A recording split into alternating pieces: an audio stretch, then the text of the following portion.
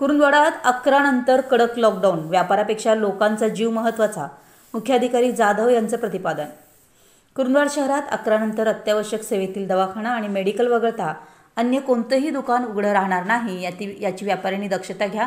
अन्यथा कठोर कारवाई करण्यात येईल असं मुख्याधिकारी निखिल जाधव यांनी सांगितलं.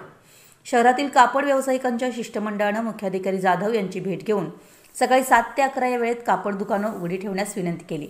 यावेळी मुख्याधिकारी यांनी या मागणीला नकार देत अत्यावश्यक दुकानं वगळता अन्य दुकानदारांनी दुकान उघडं ठेवलं तर कडक कारवाई करणारच असं व्यापाऱ्यांना सांगून शहरातील नागरिकांच्या जीवाची काळजी महत्त्वाची व्यापारापेक्षा जीव महत्त्वाचा आहे.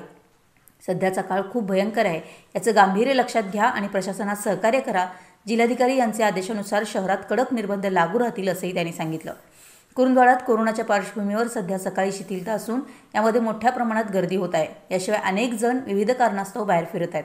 तर बाहेर फिरण्याचं प्रमाण लक्षणीय आहे. या सर्व बाबींवर मर्यादा आणणार असल्याचं मुख्याधिकारी निखिल जाधव यांनी या बैठकीत सांगून शहरात कोरोनाचा प्रकोप सुरू असून बाधितांचा आकडा दररोज वाढतच आहे.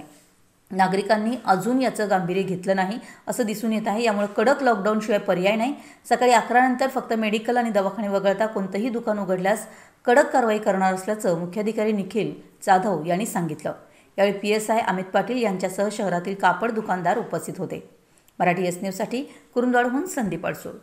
काय असं नाही चालणार. हे त्याच्यामुळे तुम्ही सूट होत तुम्हाला जे काही कायद्याला जिल्हाधिकारी साहेबांचा किंवा राज्य शासनाचा जो काही निर्देश आहे त्या निर्देशाला बांधील राहून सात ते अकरा फक्त अत्यावश्यक सेवा चालू राहतील. अत्यावश्यक सेवा सोडून इतर सेवा कोणत्याही चालू राहणार नाहीत. आणि अकरा नंतर अत्यावश्यक सेवा देखील चालू राहणार नाहीत. मेडिकल आणि ओपीडी हॉस्पिटल सोडून. सोडणार ठीक आहे.